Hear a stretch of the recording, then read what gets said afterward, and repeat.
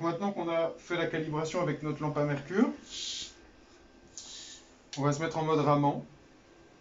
Alors je vais juste focaliser bien mon laser sur le silicium. Donc là j'ai un joli spot. Et maintenant j'enlève les lames séparatrices. Et je vais augmenter un peu de puissance sur mon silicium.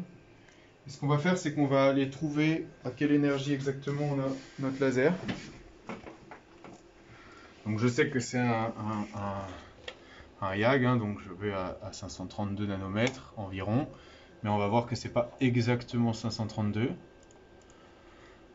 Je peux mettre peut-être une demi-seconde d'acquisition. Et je fais un focus. Voilà, donc là j'observe mon laser. Alors c'est vrai que ça peut être un problème parce qu'on voit qu'il bave un peu. Il dépasse euh, un peu sur les côtés. Mais vraisemblablement, la vraie raie laser, elle devrait être là. Mais c'est quelque chose qu'on pourra de toute façon vérifier à la fin. Donc là, on voit ici le maximum d'intensité. Ici, ça semble un peu plus filtré par les filtres. Mais le maximum d'intensité, il est à 531,87. Donc c'était ce qu'il y avait avant. Donc euh, pour repasser mon échelle maintenant en centimètres moins 1 relatif, je vais dans calibration setup. Je vais me remettre en relatif centimètre moins 1. Et là, bah, c'était déjà 531,87, mais je le laisse. Et on voit maintenant que ici, c'est environ 0 cm moins 1. Pas exactement, parce que les, pixels font, font, déjà quasiment 0,5 cm moins 1. Mais voilà, ici, le, le 0, il se trouve entre ces, entre ces deux pixels-là.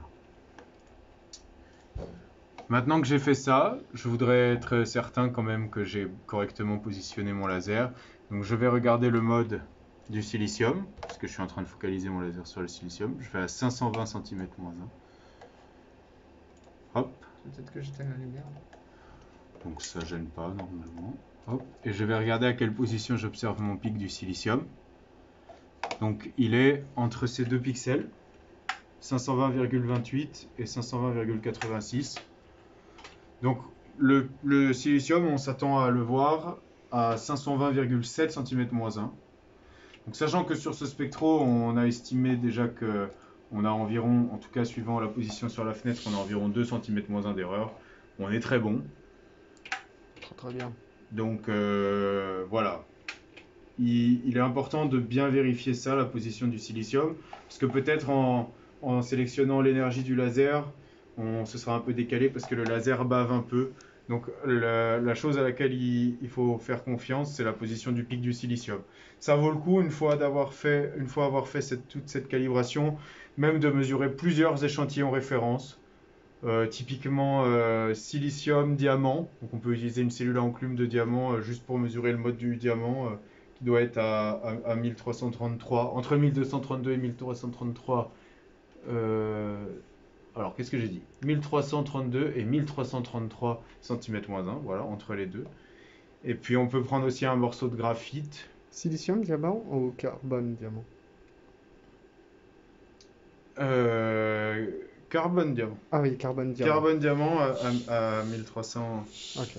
32 ou 1333 cm-1 et éventuellement aussi du graphite. Donc à, 1580 cm-1, on doit voir la bande G. Donc si on observe ces trois pics aux bonnes positions au cm-1 près, ou même 2 cm-1 près, on, on peut estimer qu'on a fait une bonne calibration, mais là ça semble être le cas. Donc voilà.